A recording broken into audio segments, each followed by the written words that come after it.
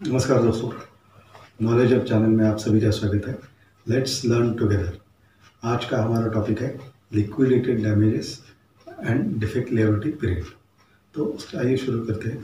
Liquidated damage liquidated damage एक certain amount रहता है, जो कि कॉन्ट्रैक्ट एग्रीमेंट में क्लाइंट और कॉन्ट्रैक्टर की तरफ़ से साइन किया रहता है कि अगर कॉन्ट्रैक्टर की कोई कंडीशन या फिर कोई माइलस्टोन ब्रेक हो गया या फिर उसमें कुछ डिले हो गया एक सर्टन अमाउंट रहता है, उसका पेनल्टी वो कॉन्ट्रैक्टर के ऊपर लागू होता है।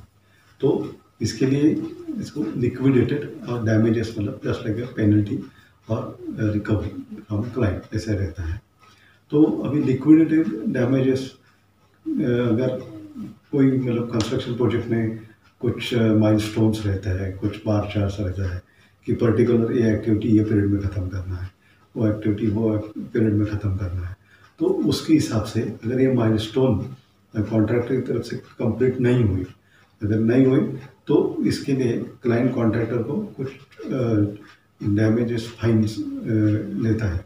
तो उसको हम लिक्विडेटेड डैमेजेस बोलते हैं। जैसे कि उस एक्टिविटी के अमाउंट के परसेंटेज रहता है। उस एक्टिविटी का अमाउंट जैसे point twenty five percent per week जैसे या फिर point one per one percent per month ये जो पॉइंट ट्वेंटी फाइव परसेंट या फिर वन मंथ है, वो उस माइलस्टोन में जो डिराइव किया किया हुआ एक्टिविटी है, उसका अमाउंट रहता है। उसके अमाउंट के हिसाब से है ये पॉइंट ट्वेंटी फाइव परसेंट या फिर वन परसेंट रहता है। और टोटल टेंडर में या फिर टोटल अमाउंट जो भी रहता है इसका लिक्विडेटेड डैमेज का वो maximum five to ten percent रहता है डिपेंडिंग अपॉन टेंडर मतलब टेंडर कंडीशंस कुछ क्लाइंट फाइव परसेंट रखते हैं, कुछ क्लाइंट टेन परसेंट रखते हैं।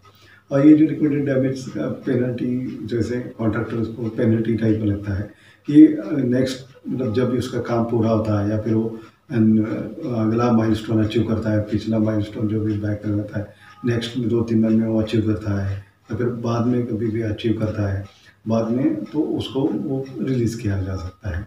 वो क्लाइंट्स के ऊपर डिपेंड है। तो टोटल मेनली क्या है प्रोजेक्ट ऑन टाइम रखने के लिए कॉन्ट्रैक्ट ऑन टाइम ख़त्म करने के लिए ये लिक्विडेड डैमेजेस का कंडीशन क्लाइंट की तरफ़ दिया रहता है। तो मेनली वो क्लाइंट के लिए भी और कॉन्ट्रैक्टर के लिए, दोनों के लिए इम्पोर्टेंट है। अभी हम नेक्स्ट देखेंगे डिफेक्ट लियाबिलिटी पीरियड अभी डिफेक्ट लियाबिलिटी पीरियड मतलब कैसा रहता है कि वो एक टाइप का एक मेंटेनेंस पीरियड है। वो मेंटेनेंस या फिर एक प्रोजेक्ट जब भी ख़त्म होता है। प्रोजेक्ट ख़त्म होने के बाद में आ, कुछ समय के लिए वो कॉन्ट्रैक्टर को वो प्रोजेक्ट्स का मेंटेनेंस करना पड़ता है। एक, एक साल हो या फिर तीन साल हो अलग अलग टेंडर में वो अलग अलग पीरियड रह सकता है। मतलब minimum one year maximum three year four years वो कौन सा टेंडर है उसके हिसाब से रहता है। वो पीरियड में जो भी कुछ डिफेक्ट्स होता है या फिर जो भी कुछ डैमेज होता है उसका पूरा कॉन्ट्रैक्टर को रिपेयर करके देना रहता है। उसका चार्ज कॉन्ट्रैक्टर को ही देना रहता है, वो पेबल नहीं रहता। तो इसलिए ये कॉन्ट्रैक्ट डिफेक्ट लेवलिटी पीरियड बहुत ही इंपॉर्टेंट है।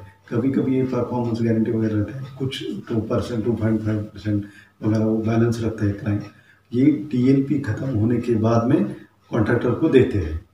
तो ये डिफेक्ट लेवलिटी पीरियड है बहुत ही इम्पोर्टेंट है। क्योंकि इसमें कॉन्ट्रैक्टर को पूरी तरह से वो प्रोजेक्ट का मतलब मेंटेन, मेंटेनेंस करना है।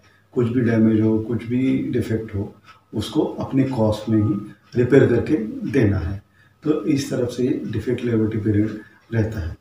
तो दोस्तों, ये रहा हमारा आज का वीडियो। आज का वीडियो आपको कैसा लगा, आप ज़रूर कमेंट कीजिए।